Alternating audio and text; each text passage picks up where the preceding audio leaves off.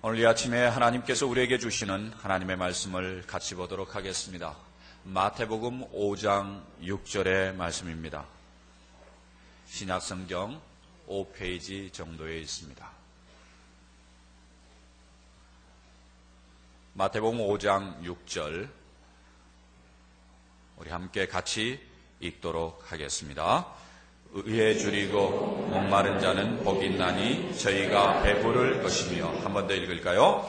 의에 줄이고 목마른 자는 복이 있나니 저희가 배부를 것이며 아멘. 읽어드린 이 말씀을 중심으로 해서 어, 산상수훈 시리즈 다섯 번째 의에 줄이고 목마른 자라는 제목으로 우리 옥하는 목사님께서 말씀을 전해 주시겠습니다.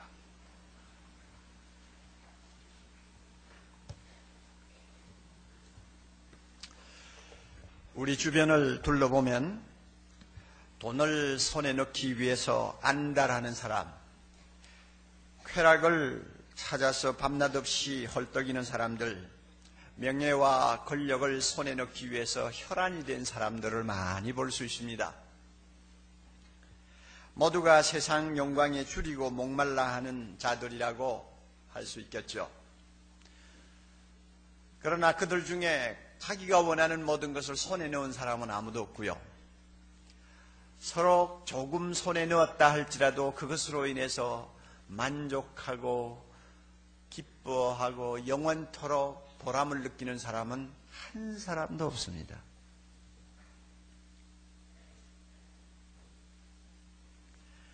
히랍 신화에 탄타루스 왕 이야기가 나옵니다. 뭐 기독교하고는 전혀 관계가 없는 어, 신합니다만은 그러나 한두 가지의 그 아주 값진 진리를 담고 있습니다. 탄타르스 왕이 먹으면 늙지 않고 먹으면 죽지 않는다고 하는 음식, 음식을 제우스 신의 음식을 훔쳐 먹었어요. 그 죄로 그는 평생 배고프고 평생 목마르는 고통을 당해야 하는 벌을 받게 됐습니다. 그가 물이 마시고 싶어서 앞에 있는 물잔에 손을 내밀면 물이 물잔이 뒤로 쓱 가버리는 거예요. 그가 너무 배가 고파서 앞에 있는 나무에 열린 과실을 따먹겠다고 손을 내밀면 그 나무 과실이 하늘로 쭉 올라가 버리는 거예요. 눈으로 보고 마시고 싶고 먹고 싶은 것을 하나도 입에 넣을 수가 없는 고통을 평생 그는 겪고 살아야 했습니다. 이 신화에서 이 탄타루스 왕의 신화에서 영어 단어가 하나 생겼어요. 텐들라이징. 텐들라이징이라고 하는 단어가 하나 생겼는데 그게 뭐냐면 감질나는 애간장을 태우는 하는 말입니다. 여러분 한번 생각해 보세요. 참 눈에 보이는데도 못 마셔. 못 먹어, 배는 고프고, 목은 마르고, 얼마나 안, 안달하겠어요. 얼마나 감질이 나겠어요. 사람들이 밤낮 없이 추구하고 있는 이 세상 영광은 다 이런 것입니다. 내가 손에 넣을만 하면 손에서 빠져나가요. 내가 좀 얻었다 싶으면 그것은 얻은 것이 아니요. 서로 내가 내 입에 꽝 깨물었다고 생각하고 내가 삼켰다고 생각하면 그것으로 인해서 갈증은 더 생기고 그것으로 인해서 배는 더 고파요. 그래서 나중에 미친 사람처럼 날뛰는 것입니다. 오늘 이 시간 우리는 예수님의 말씀을 참 특별히 주목해야 합니다. 예수님은 우리가 진정 배고파 해야 하고 목말라 해야 할 것은 따로 있다고 선언하십니다. 그것은 의라고 말합니다. 의에 줄이고 목마른 자는 복이 있나니 저희가 배부를 것이요 저희가 해가를 받을 것이요 하는 말입니다. 의에 줄이고 목마른 사람은 반드시 하나님이 주시는 영원한 만족, 영원한 평안, 영원한 충족감을 맛보는 사람이 된다는 것입니다. 그러므로 먹어도 배고프고 마셔도 목마르기만 한 것에 매달리지 말고 의에 줄이고 목마른 사람이 되라. 이것이 진정한 행복의 길이요. 이것이 하나님처럼 거룩하고 아름다운 사람으로서 이 세상을 사는 지혜로운 길이라고 주님께서 가르쳐 주십니다. 그러나 솔직하게 이야기합시다. 의에 줄이고 목마른 자는 복이 있나니 저희가 배부를 것이요. 그 말씀이 우리의 마음에 실감나게 와서 닿습니까? 아마 몇 분 안 될 거예요. 모두는 남의 이야기처럼 들릴 것입니다. 아마 틀림없을 거예요. 세상 사람은 말할 것도 없고 성경을 날마다 손에 들고 읽고 하는 우리까지도 아, 이 말씀 뭐 참 진리인 것 같은데 그러면서도 와서 닿는 게 별로 없어요. 더욱이 예수님이 말씀하시는 이 목마름, 배고픔이라는 단어가 원래 어떤 의미를 담고 있는가를 우리가 좀 깊이 찾아보면 더 거리감을 느낄 것입니다. 여기에서 목, 어, 배고프다 하는 말, 페이논테스라고 하는 이 헬라어 말은요, 우리가 좀 배가 고파가지고, 아이고, 뭘 좀 먹을 게 없나 하고 냉장고에 문을 열어보고 먹을 것 찾을 때 느끼는 시장기가 아니에요. 이 말은 먹을 것 찾아서 생명 걸고 두만강 물을 헤엄쳐 건너는 북한 사람들이 체험하는 배고픔입니다. 주님이 말씀하시는 목마름, 빅손테스라고 하는 이 헬라어 말은요, 아이고, 뭐 좀 마셨으면 좋겠네. 차 한 잔 주세요. 할 때 우리가 느끼는 그런 약간의 목마름이 아니에요. 이스라엘 백성이 애굽 노예에서 벗어나서 광야로 들어왔지 않습니까? 며칠 여행을 한 다음에 르비딤이라고 하는 곳에 도착을 했는데 하루 종일 물 한 방울 마시지 못하고 거기까지 왔어요. 거기에는 분명히 오아시스가 있을 것이고 시원한 생수가 기다릴 줄 알고 찾아왔는데 해는 니언니언 넘어가고 이제는 더 여행도 할 수 없어요. 그런데 아무리 찾아봐도 마실 물이 없어요. 백성들이 정신을 잃어버렸어요. 이성을 잃어버렸어요. 그래가지고 모세 앞에서 난동을 부리는 장면을 우리는 성경을 보는데요. 이렇게 너무너무 목이 마르고 막 입, 혀가 입천장에 달아붙는 고통을 겪으면서 난동 부리는 이스라엘 백성들이 체험하는 목마름이 바로 예수님께서 말씀하시는 딕선 테이스라고 하는 말입니다.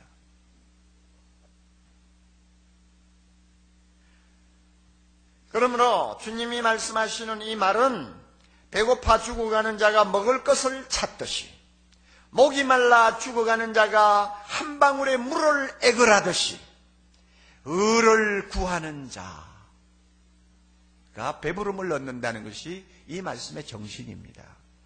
그렇게 보면 자, 참 이거 내하고 거리가 좀 멀다 하는 생각이 안 들어요?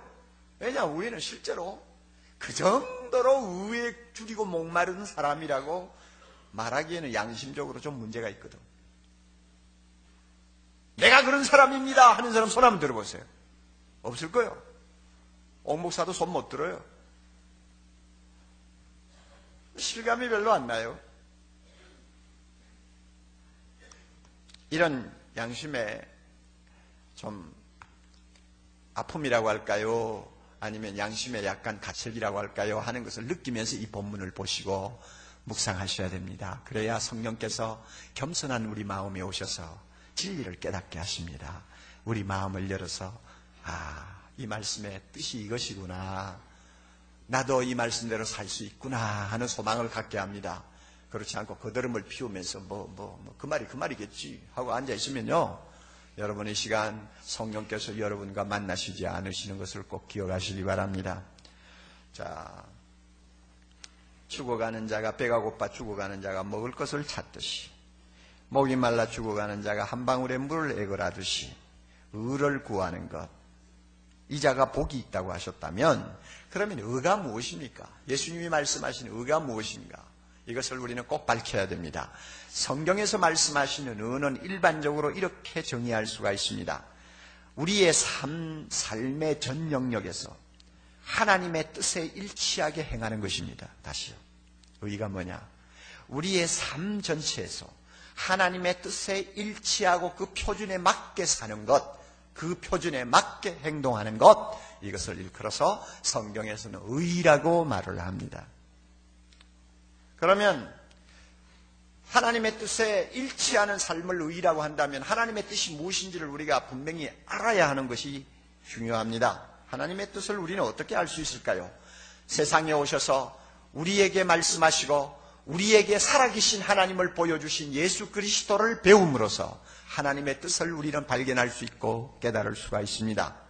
예수님께서 어, 한때 이렇게 말씀하셨습니다. 모태, 마태, 어, 요한복음 7장 16절에 예수께서 가라사대 내 교훈은 내 것이 아니요 나를 보내신 이의 것이니라. 다시 말하면 주님이 하시는 모든 말씀은 자기 말씀을 하시는 것이 아니고 자기를 세상에 보내서 세상을 구원하라고 하신 하나님의 말씀을 다 전하는 것이라고 했습니다. 그러니까 예수님의 말씀 안에는 하나님의 뜻이 숨어 있는 거예요. 예수님의 말씀을 잘 듣고 배우면 하나님의 뜻을 깨닫게 되는 것입니다. 그러므로 성경 말씀을 가지고 주님의 말씀을 날마다 읽으며 묵상하는 사람은 하나님의 뜻이 뭐, 무엇인지를 몰라가지고 헤매는 법이 없습니다. 왜 우리가 예수 믿어야 하는지, 왜 우리가 회개해야 하는지, 우리가 왜 세상을 사랑하지 말아야 하는지, 우리가 왜 하나님과 이웃만을 사랑해야 하는지, 우리가 왜 거룩하게 살아야 하는지, 우리가 왜 십자가를 지고 때로는 좁고 험한 길을 걸어가야 하는지, 우리가 왜 때로는 이 세상 사람들이 그렇게 추구하는 좋은 것들을 포기해야 하는지, 왜 우리가 보이지도 않는 하나님의 나라를 위해서 나의 생명과 나의 가진 것, 나의 젊음을 때로는 주의 재단에 올려놓고 헌신하는 산재물이 되어야 하는지 그 모든 것을 주님의 말씀을 통해서 다 듣습니다. 그게 뭐냐면 하나님의 뜻이거든요.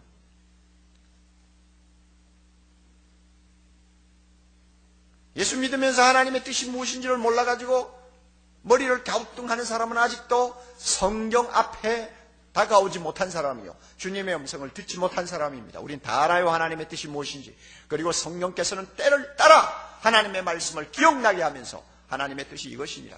너는 이 뜻대로 살아야 돼. 하고 항상 우리 마음에 들려주시는 음성이 있는 것 우리는 너무나 잘 알고 있습니다. 아멘. 우리 예수님은 하나님의 의가 무엇이며 하나님의 뜻이 무엇인가를 가르쳐 주는 것으로만 끝낸 분이 아닙니다. 그 자신이 자기 자신이 의에 줄이고 목마른 삶을 실제적으로 모범, 모범이 되게 보여주셨습니다. 그러므로 우리가 예수님을 보면 성경 말씀을 통해서 예수님의 걸어 다니신 모습을 보고 그가 말씀하시는 걸 보고 그가 행하시는 것을 보고 그의 죽으심을 보고 그의 부활하심을 보면 아, 의에 줄이고 목마른 자의 삶은 바로 저런 것이다 하는 결론을 내릴 수가 있습니다. 주님만큼 의에 줄이고 목마른 분이 없었어요. 그가 죽음을 앞두고 뭐라고 하셨어요? 아버지여, 내 뜻대로 마옵시고 아버지의 원대로 하옵소서. 주님은 여기에 생명을 걸었습니다. 아버지의 원대로 하는데 자기 생명 걸었어요. 그래서 십자가에 죽었고, 그래서 사흘 만에 살아났고, 그래서 오늘 우리를 하나님 앞으로 인도하시는 세상의 구주가 되신 것입니다. 예수님이 바로 그런 분이에요. 그렇게 사셨어요.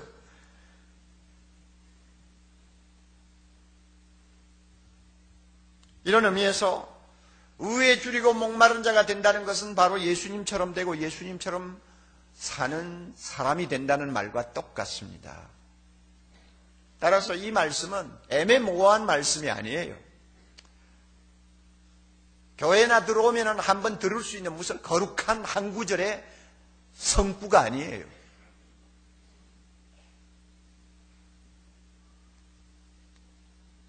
진리의 영이신 성령께서 이 시간 우리 가운데 오셔서 우리 모두가 하나님의 뜻에 일치하는 삶을 살아야 되는 거룩한 백성님을 다시 깨닫게 해주시기를 바라고 뿐만 아니라 이 거룩한 뜻을 추구하려고 하는 사람, 의에 줄이고 목마른 사람이 되기를 간절히 소망하는 열정을 우리 가슴 속에 불러일으켜 주시기를 바랍니다. 그러면 우리가 의에 줄이고 목마른 자가 되기 위해 예수님처럼 의에 줄이고 목마른 자가 되기 위해서 구체적으로 해야 할 것이 무엇이냐 하는 것을 좀 보아야 합니다. 막연하게 이야기하면 우리 마음에 남아있는 것이 없어요. 실제적으로 내가 어떻게 해야 의에 줄이고 목마른 사람이 될 수 있느냐 하는 데 대한 고찰을 해야 합니다. 네 가지를 말씀드리겠는데 오늘 제가 일부 예배 시간에 이 네 가지를 다 가지고 말씀을 드리려고 보니까 안 되겠어요. 너무 시간이 짧아요. 그래서 반을 나누기로 했습니다. 오늘 두 가지, 다음 주일 두 가지. 왜냐하면 이게 너무 중요한 것이기 때문에 제가 적당히 하고 넘어갈 수가 없어요. 우리가 의에 줄이고 목마른 자의 삶을 살려면 네 가지를 꼭 해야 합니다. 첫째로 구원받기를 간절히 사모해야 합니다. 구원받기를 간절히 사모해야 합니다. 물론 이 말은 아직도 예수 믿지 아니하는 형제 자매들을 놓고 하는 말입니다. 사랑의 교회 밖에 있는 모든 믿지 아니하는 사람을 향해서 하는 말씀입니다. 구원받기를 간절히 사모하는 사람은 의에 줄이고 목마른 사람이라고 말할 수가 있습니다. 제값으로 영원한 사망과 저주를 피할 수 없는 이 세상을 구원하시려고 하는 것은 사랑의 하나님의 절대적인 뜻이요. 강렬한 의지입니다. 하나님은 악인이 그 죄값으로 영원히 심판받으시는 것을 절대로 좋아하지 않으십니다. 어떻게 해서라도 그들을 구원하시려고 하는 것이 하나님의 뜻입니다. 이 일을 위하여 사랑의 교회를 이곳에 세우신 것이요. 이 일을 위하여 이 땅에 4만 5만 개의 교회를 세우신 것이요. 이 일을 위하여 전 세계 수백만 개의 교회를 세우시고 오늘도 복음을 증거하도록 하신 것입니다. 그러므로 이 가운데서요,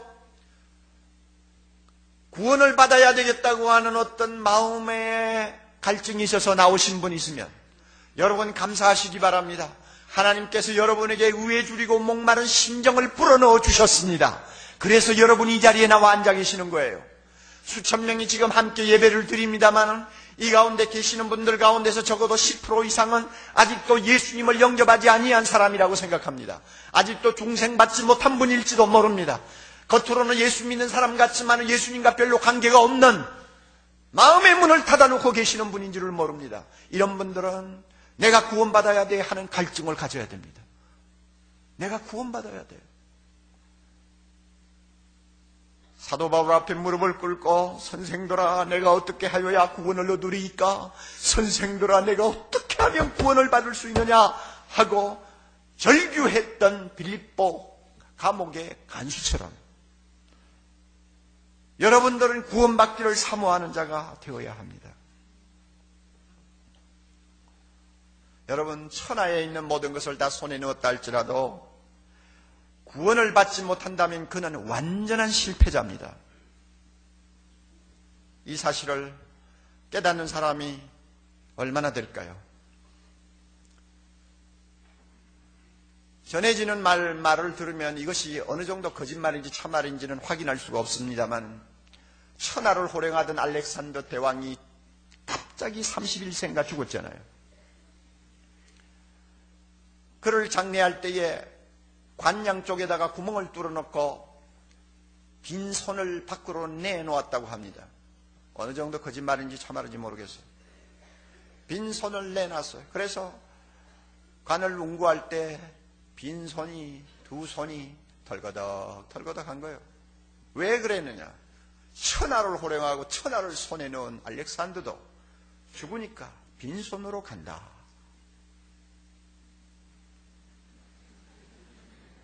이걸 교훈하기 위해서 그랬대요.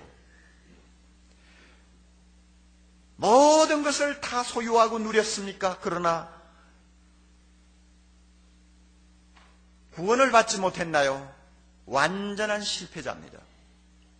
저는 요즘 텔레비에 가끔 나오시는 정주영 회장의 모습을 자주 유심하게 보면서 제가 참 느끼는 것이 많아요. 20년 전 어느 크리스마스 축하 예배 때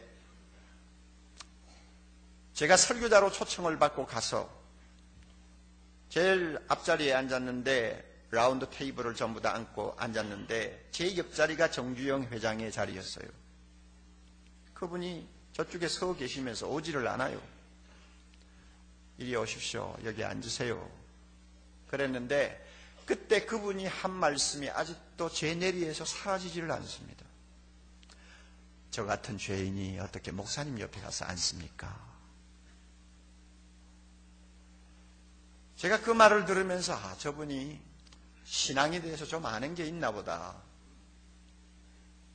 내면의 영혼의 어떤 구원을 생각하는 구석이 있나 보다. 이런 생각을 했어요. 그러나 20년 동안 지켜보니 그분은 예수 믿는 사람이 아니에요. 아직도 그는 예수 믿지 않고 있어요. 그렇다고 제가 전도할 수 있는 어떤 루트가 열리는 것도 아니에요. 화면에 나오는, 테레비 화면에 나오는 최근의 그의 모습을 봅니다. 그는 감각도 없어요. 감정도 얼굴에 없어요. 희노애락도 느낄 줄 모를 정도로 노쇠했어요. 판단력이 있는지 없는지도 잘 모르겠어요. 남의 부축을 받지 아니하면 걸음도 제대로 걸을 수가 없어요.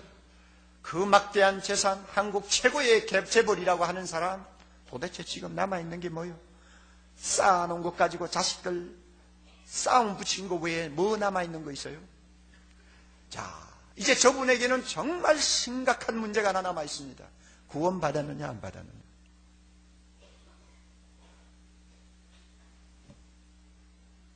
자기의 것을 가지고 주님 앞에 갈 수 있는 것이 하나도 없습니다. 뭘 들고 갑니까? 뭘 들고 가서 하나님 앞에 내놓을 것입니까?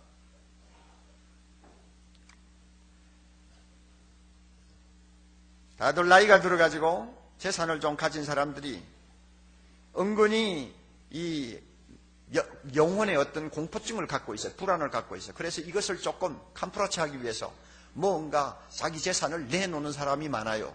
미국같이 제도가 잘 돼 있는 나라에서는 특히 그렇습니다. 우리나라는 아직도 요원해요. 미국은 자식들에게 재산, 유산, 재산 가지고 유산 잘 안 줍니다. 주어봐야 뭐 세금 많이 나가고 애들 못 쓰게 만들고 하니까 상식 있는 사람이 아무리 막대한 재산을 쌓아놔도 유산으로 그냥 넘겨주고 눈 감지를 않습니다. 그러니까 그것을 웅켜쥐고 있으면 뭐합니까? 그러니 자연히 사회의 어떤 기관에다가 기증하는 것이죠. 제 아이가 가서 공부하고 있는 Notre Dame University라고 뭐 그런 데로 괜찮은 학교가 있어요. 아마 미국에서 재정적으로 가장 힘이 있는 학교 중에 하나라고 합니다. 캐톨릭 계통인데요. 최근에 그 학교 출신이 400억 원을 기증을 했어요. 400억 원을. 학교에 400억 원 정도 기증하면 그 재단은 대단한 거죠. 왜 기증했느냐? 쌓기는 많이 쌓았는데 이제 죽을 날 앞에 놓고 뭘 할 거냐 생각하니 믿음이 없는 사람이 고작 생각한다는 것이 뭐 복지재단에 아니면 뭐 학교 같은 데 기증하는 것밖에 더 있겠어요? 그러나 기증해놓고도 문제 해결이 되었느냐? 천만에요. 문제 해결이 되지 않아요. 하나님 앞에 가려면은 누구든지 하나님이 인정하는 의가 있어야 됩니다. 의가 하나님이 인정하는 의. 그 의는 무엇입니까?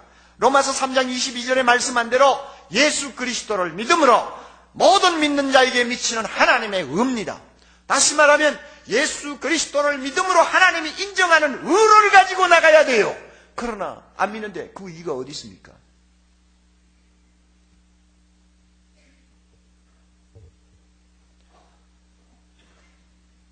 사랑하는 형제자매 여러분, 여러분 가운데 아직도 예수를 믿지 아니하는 분들이 계시면 이 시간 예수님 앞으로 빈손 들고 나오시기를 바랍니다. 아무것도 다른 거 필요 없어요. 빈손 들고 나오세요. 손에 무엇이라도 하나가 있으면 그것은 여러분이 구원받는데 너무나 너무나 치명적인 장애가 됩니다. 명예든, 부든, 뭐 여러분이 갖고 있는 권력이든 아무 소용없어요. 다 비우고 빈손 들고 주님 앞에 나와서 예수님의 옷자락을 믿음으로 붙드시기를 바랍니다. 이런 마음을 여러분이 갖고 계시면 여러분이야말로 의에 줄이고 목마른 아름다운 사람이라고 말할 수 있습니다. 이런 사람들에게는 영원히 영원히 목마르지 아니하고 배고프지 아니하는 은혜를 하나님이 주십니다. 요한복음 4장 14절 내가 주는 물을 먹는 자는 영원히 목마르지 아니하리니 나의 주는 물은 그 속에서 영원토록 영생하도록 솟아나는 무엇이 되리라? 생수가 되리라. 지난 주일날 세례 간증을 네 분이 했는데요. 여러분이 테이블 들으면 다 은혜 받을 수 있습니다. 그 가운데 김순복이라는 자매가 간증을 한 거 제가 좀 인상 깊게 들었어요. 어린 시절 부모를 잃어버렸습니다. 절간을 나가가지고 어떤 아주머니를 만나게 됐는데 그 아주머니와 인연이 되어가지고 그 아주머니 아들과 결혼을 했습니다. 조금 행복하게 산, 사는가 했더니 아들 하나를 낳아놓고 젊은 나이에 남편이 죽었어요. 이렇게 험한 인생의 파고에 지쳐서 있을 때 그가 사랑의 교회로 인도를 받았나 봐요. 이제 그의 믿음은 너무나 아름답게 자랐습니다. 예배 시간에 나와서 앉을 때마다 자기가 지금까지 헛되이 살았다 하는 마음의 후회를 많이 하고 있다고 고백했습니다. 그리고 그는 이렇게 간증을 끝맺고 있습니다. 이렇게 좋은 예수를 왜 이제야 믿게 되었는지, 그리고 이렇게 행복한 예수를 왜 사람들은 안 믿는지, 안타까운 마음이 차오르기 시작했습니다. 와, 멋진 말이에요. 그 사람의 마음에 무엇이 솟고 있습니까? 생수가 솟고 있는 것이. 예수 믿으세요. Sunday Christian으로 드나든다 하는 마음의 어떤 가치를 갖고 계시는 분, 지금부터 예수 믿으시기 바랍니다. 여러분은 이 자리에 나와 앉아 있다는 자체도 큰 복이에요. 왜냐하면 의에 주리고 목마른 어떤 갈증이 있기 때문에 나오신 거 아니에요. 그러므로 더 이상 머뭇거리지 말고 빈손 들고 앞으로 나오세요. 그리고 예수님 믿으시고 예수님이 주시는 배부름, 예수님이 주시는 해갈을 여러분이 체험할 수 있기를 바랍니다. 둘째로 은혜를 간절히 사모해야 의에 줄이고 목마른 사람이라고 할 수가 있습니다. 여러분 신앙생활이라는 게 뭡니까? 교회를 왔다 갔다 하는 것입니까? 아니면 밥 먹을 때 머리 숙이고 기도하는 것이고 집에 가면 성경 가끔 읽는 것이고 누가 물으면 종교란에 기독교라고 쓰는 것입니까? 이게 신앙생활입니까? 아니에요. 신앙생활이 뭐냐? 저는 항상 갈라디아 2장 20절을 생각합니다. 나를 사랑하사 나를 위하여 자기 몸을 버리신 하나님의 아들을 믿는 믿음 안에 사는 것이 신앙생활입니다. 하나님의 아들을 믿는 믿음 속에 푹 쌓여가지고 사는 것이 신앙생활입니다. 그분을 절대적으로 믿는 것입니다. 밤이고 낮이고 그분을 의지하고 그분의 이름을 부르며 그분을 믿고 그분을 따르는 것입니다. 이게 신앙생활입니다. 그렇다면 여러분, 내가 없이 믿고 의지하는 그분이 누구요? 나를 사랑하사 나를 위하여 자기 몸을 버리신 하나님의 아들이래요. 와, 이것만큼 대단한 것 어디 있습니까? 이게 어디 보통 말입니까? 하나님의 아들이 나를 사랑하셨대요. 말만 가지고 사랑하신 것이 아니라 진짜 나를 위해서 필요하니까 자기 생명을 십자가에서 희생하셨대요. 여러분, 도대체 이 말이 이거, 이거 뭐 한두 마디 말 가지고 때울 수 있습니까? 예? 뭐 어디 1, 2년 뜨겁게 믿었다고 해서 해결될 문제입니까? 여러분, 이 예수님 깊이 생각해 보셨어요? 너 죽고 나 죽자 하고 너무 좋아가지고 결혼해서 30년을 산 아내도 내 나를 위해서 피 한 방울 흘려주지 않으려고 요즘도 눈을 살쭉하고 쳐다보는데 하나님의 아들이에요 하나님의 아들 거룩하신 하나님의 아들이에요 하늘과 땅의 모든 권세를 가지신 창조주 하나님이에요 그분이 나 같은 것을 위해서 너무 사랑해서 죽으셨대요 여러분 이분에 대해서 더 알고 싶은 갈증이 없으세요? 한 번 만나면 끝날 문제입니까? 한두 번 이야기 들었다고 다 알게 될까요? 우리는 구원은 받았습니다만 예수님을 완전히 안 것은 아니에요. 우리는 부분적으로 알고 있습니다. 부분적으로. 그 크신 하나님, 그 크신 예수님의 사랑을 우리가 무슨 재주로 다 안다고 말할 수 있어요? 그러므로 신앙생활이 뭐냐? 나를 사랑하사 나를 위하여 자기 몸을 버리신 예수님이라니 이건 정말 도무지 이해가 안 돼. 내가 뭔데 그분이 그렇게 사랑하셨냐? 도대체 나는 그분 좀 알고 싶어. 어떤 분인가? 나는 그분을 좀 만지고 싶어. 그분 얼굴 좀 가까이 가서 들여다보았으면 좋겠어. 나 그분하고 하룻밤이라도 같이 좀 있어봤으면 좋겠어. 하는 갈증, 배고픔, 이것을 가지는 것이 신앙생활입니다. 이렇게 주님을 알고 싶어하고 주님을 갈망하고 그 사랑에 대한 비밀을 좀 더 이해하고 싶어서 마음의 갈증과 배고픔을 가지고 주님 앞으로 날마다 나오기를 원하는 사람이 바로 의에 줄이고 목마른 사람이요. 이런 사람을 일컬어서 은혜를 간절히 사모하는 사람이라고 그럽니다. 다윗도 시편 42편 1절 2절에서 이렇게 그의 갈증을 이야기했지 않습니까? 하나님이여 사슴이 시냇물을 찾기에 갈급함 같이 우리에게는 이거 별로 실감나는 말이 아니에요. 유대 나라는 건기가 되면 비가 하나도 안 옵니다.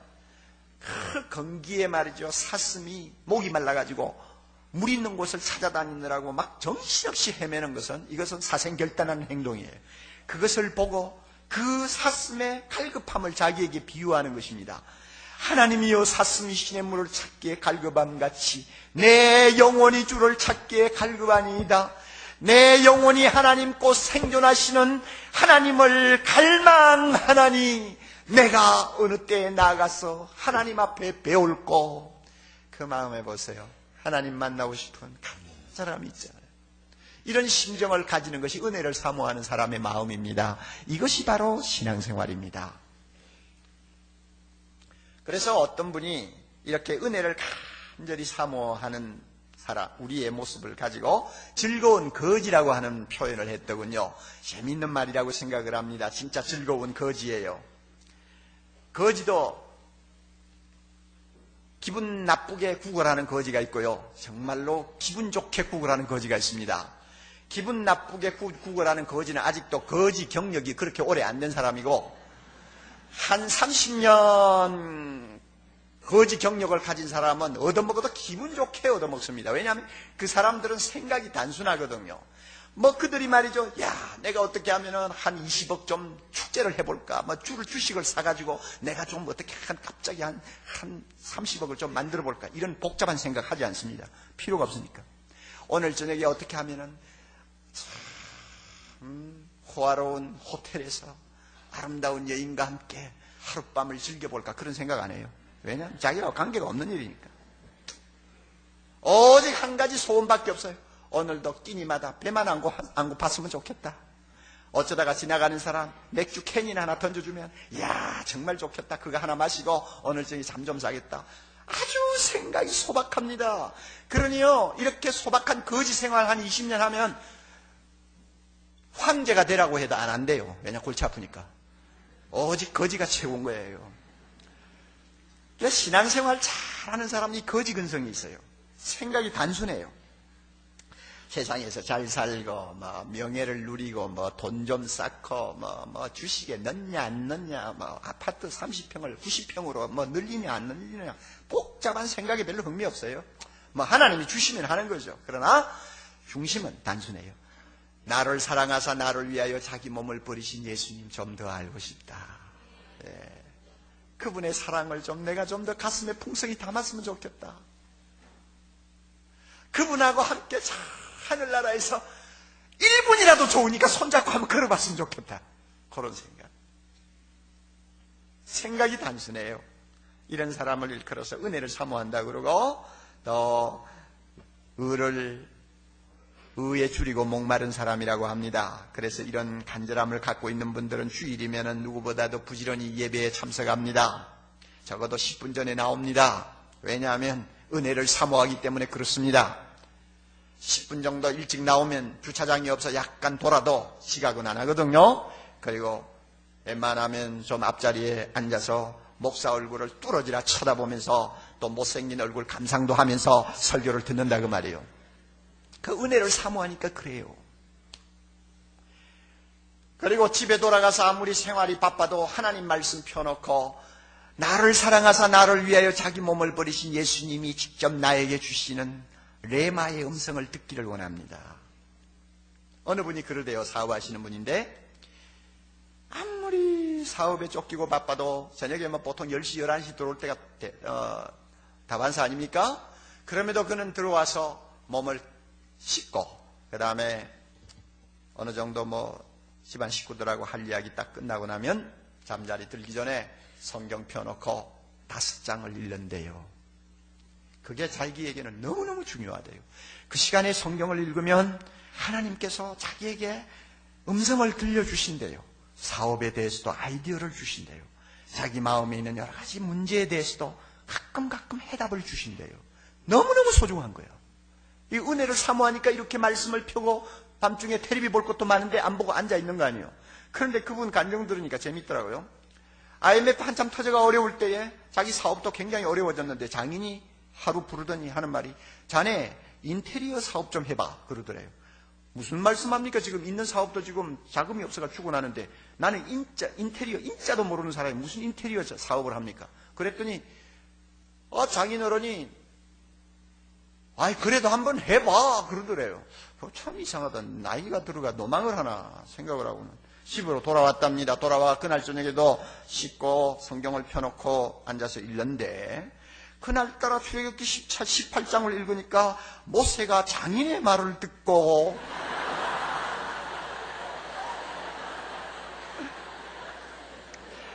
천부장 백부장을 세워서 백성들을 재판했다 하는 내용이 나오는 거야. 아, 이거 참 이상하네. 이거 하나님이, 하나님이 인테리어 사업 하라는가 보다. 그래가지고, 그 다음날 회사 나갔더니, 어디 어디 연결이 돼가지고, 지금, 어, 음, 음, 부도 직전에 있는 인테리어 회사를 하나 경영을 어, 인수하게 됐다고 합니다. 그런데 그 회사가 지금 불티가 나거든요. 은혜를 사모하는 사람은 하나님의 말씀을 사모합니다. 그리고 은혜를 사모하는 사람은 쉬지 않고 기도합니다. 기도가 뭐냐? 저는 가끔 기도가 뭐냐 하고 생각할 때 이런 생각이 들어요. 여러분, 인공위성 굉장히 무겁잖아요. 몇 톤짜리입니다. 그 인공위성을 저 대기권 밖으로 밀어 올리려면 강력한 추진력을 가진 로켓이 필요합니다. 뒤에서 화염을 품으면서 그 인공위성을 밀어 올려야 그것이 대기권으로 껑충 뛰어 올라가서 안정이 되는 거예요. 궤도를 바로 이제 잡고 지구를 돌게 되지요. 기도가 뭐냐? 기도는 우리를 대기권 밖으로 밀어 올리는 추진력이요. 로켓이라고 생각합니다. 우리는 육신에 갇혀가지고 우리 영혼이 참 이 육신, 육신이라고 하는 대기권을 벗어나기가 어려워요.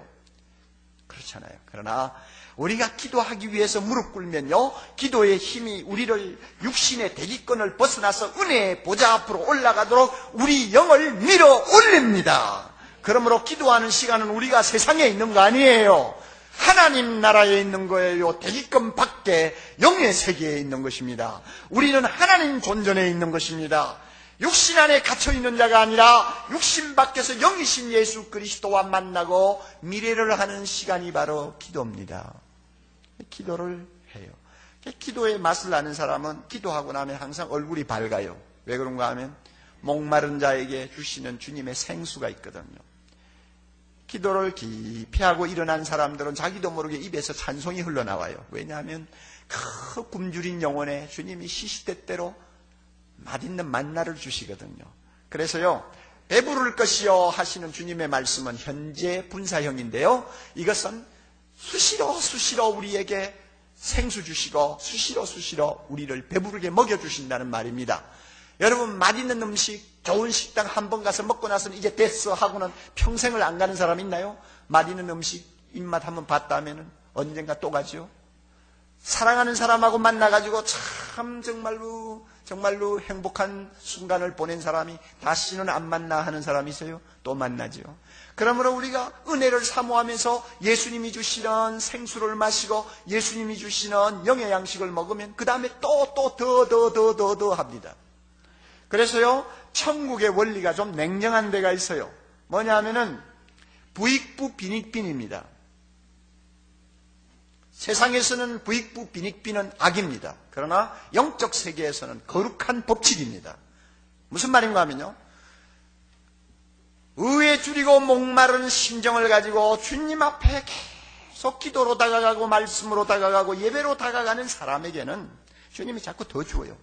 그래서 있는 자에게는 더 주고 없는 자에게는 있는 것까지 어떻게 한다고요? 빼앗아 가 버려요. 아이고, 난뭐 지금까지 신앙생활 한 4, 50년 했는데 뭐 이 정도 믿었으면 됐지. 뭐 그렇게 아웅다웅 하냐. 이러면 벌써 4, 50년 믿으면서 받은 은혜 송두리째 다 뺏겨버려요. 나 다 안다. 뭐 오늘 뭐 의회 줄이고 목마른 자 복이 있다지. 뭐 설교가 뭐 그렇고 그렇겠지 뭐. 하고는 딱 앉아서 어디 보자. 얼마나 잘하나. 하고 앉았으면. 벌써 그 사람은 갈급한 영혼이 아니에요. 은혜를 사모하는 영혼이 아니에요. 그러므로 그 마음에 있다고 생각하고 가지고 있다고 확신했던 것까지 자기도 모르게 다 뺏겨버려요. 그러나 주님, 나는 주님 아직 다 모릅니다. 나는 은혜가 더 필요해요. 남편도 나의 빈 마음을 채우지 못해요. 내가 갖고 있는 재산도 어림도 없어요. 내 마음에 만족 주지 못해요. 나는 다른 사람보다 오를 만큼 다 올랐어요. 그러나 올라놓고 보니까 남아있는 것은 공허감밖에 없어요. 세상 것은 먹으면 먹을수록 마시면 마실수록 갈증만 일으켜요. 주님 이제 주님이 내 빈, 빈 공간 채워주세요. 이 시간도 말씀해 주세요. 이 시간 주님께서 저를 만나 주세요. 생수를 주세요. 필요한 은혜가 있습니다. 주세요! 하는 마음을 가지고 나오면 뭐 그동안 하나님이 얼마나 죽었는지는 모르지만 막, 너 그만큼 있는데 왜 또 달라 하느냐 그 말 절대 안 합니다. 또 주고 또 주고 또 줍니다. 이게 천국의 법칙이요. 그러므로 교회 안에서 보면요. 은혜를 받고 믿음이 좋아지는 사람은 계속 좋아지고 좀 좋은 듯한 사람은 계속 뒷걸음질 쳐요. 사랑하는 형제자매 여러분 우리 모두가 의에 줄이고 목마른 사람 될 수 있기를 바랍니다. 예수를 믿지 아니하는 분들은 구원을 받기를 갈망하십시오. 형제여 내가 어찌하면 구원을 얻을 수 있을까? 이 질문을 낮이고 밤이고 던지세요. 그러면 하나님께서 여러분에게 생수 주실 줄을 믿습니다. 이제 예수 믿고 우리가 이렇게 아름답게 신앙생활하며 예배 드리는 사람들이지만 우리는 항상 주님을 더 알기를 사모하는 갈증이 있어야 됩니다. 은혜를 사모해야 됩니다. 말씀 앞에 자주 앉으십시오. 기도하는 사람 되십시오. 예배 시간에 정성을 쏟으십시오. 그리고 정말로 즐거운 거지처럼 하늘로부터 떨어지는 그 놀라운 모든 은혜들을 내가 받아 누리고자 하는 갈증을 가지고 주님을 믿으면 우리 하나님께서 풍성한 축복, 배부름의 축복을 우리 모두에게 남김없이 허락해 주실 줄 믿습니다. 다 같이 기도하십시다. 거룩하신 하나님 아버지, 의에 줄이고 목마른 자는 복이 있나니 저희가 배부를 것이며, 오 하나님 지금까지 우리의 삶을 보면 배고파서 죽어가는 자가 먹을 것을 찾듯이 목말라 죽어가는 자가 한 방울의 물을 애걸하듯이 우리 주님 알기를 원하고 주님의 뜻에 일치하는 삶을 살려고 하는 갈증과 열정이 우리에게 너무 부족했던 것을 회개합니다. 용서하여 주시고요. 하나님 아버지 기도합니다. 이 가운데서 아직도 구원받지 못한 형제자매 있으면 구원받기를 간절히 사모하는 은혜를 주시기를 바라오며 머리 숙인 귀한 자녀들 지금까지 받은 은혜가 많습니다마는 더욱 더욱 즐거운 거지가 되어 은혜의 보좌 앞을 향해서 달려가면서 하나님 의에 줄이고 목마른 사람 다 되어 하나님이 주시는 놀라운 배부름을 가지고 이 세상에서 승리하며 많은 사람에게 하나님 나라의 영광을 보여주는 축복을 주시옵소서 예수님 이름으로 기도드리옵나이다.